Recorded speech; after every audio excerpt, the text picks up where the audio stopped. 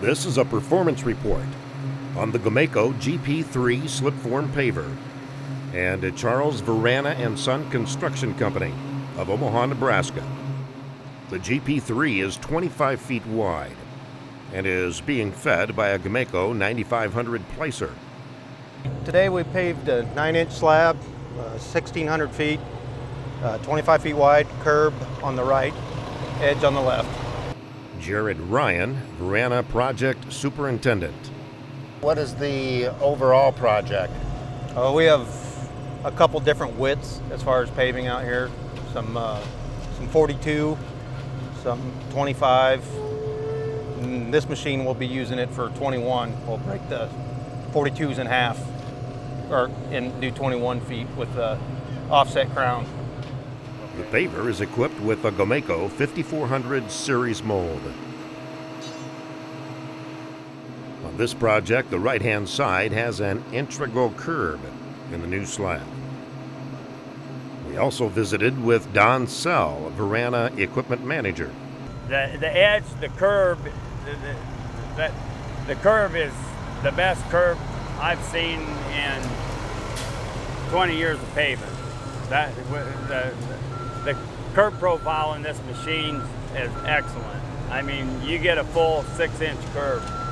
And, and we're running right now probably uh, two and a half to three inch slump.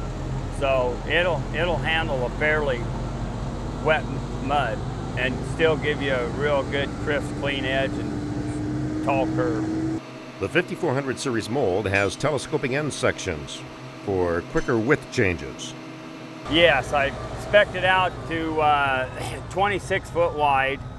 And uh, we got the mold with the telescoping end sections in it because we do a lot of paver width changes from one job to the next where we could be a one or two foot increments. And just the versatility uh, not having to drop that mold to make a paver width change. And uh, you know it just it's it's something you can do in an hour versus a half a day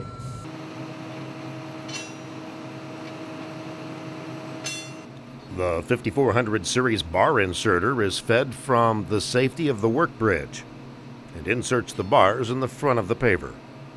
Very comfortable. We haven't had any issues with that bar inserter. We keep it greased about every five, ten minutes. We pump about four or five shots of grease into it and keep it real, real lubricated. So we like it. It's very compact.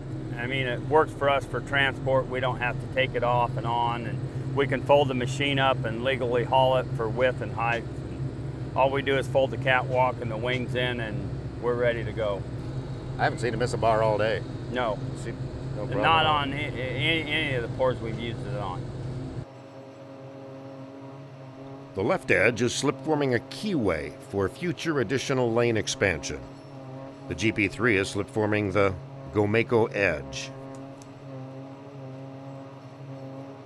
I like the versatility of the machine and the ease of mobility on site where you can counter rotate the machine right in its own tracks. You know, the slew drives on the steering and those pivot arms are phenomenal.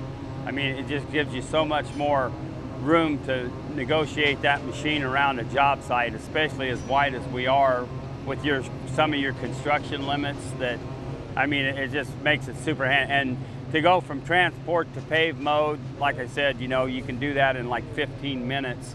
And we'll bring it out here off the end of this header. They'll wash it down. We'll fold it up and we'll track it back to the other end of the job. This has been a performance report on the GOMACO GP3 and Vrana Construction. Like I, like I said, I mean, the technology of the machine is phenomenal. Ten years ago, I would have never, never thought of something like this. But come a long ways, It hasn't it? come a long way. Yeah.